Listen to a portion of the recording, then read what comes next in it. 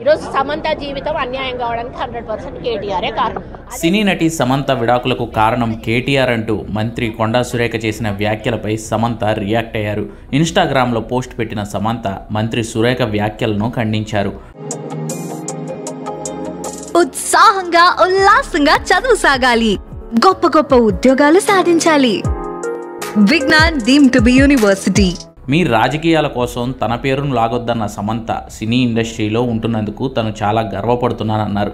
Glamour ఫీల్డ్లో రాణించాలంటే చాలా శక్తి కావాలన్న సమంత మంత్రిగా కొండా సురేఖ చేసే వ్యాఖ్యలకు చాలా ప్రాధాన్యత ఉంటుందని ఇతరుల వ్యక్తిగత జీవితాల గురించి మాట్లాడే ముందు ఆలోచించుకుని మాట్లాడాలన్నారు. ఇక తన విడాకుల విషయంలో ఎలాంటి రాజకీయాల ప్రమేయం లేదని స్పష్టం చేశారు సమంత.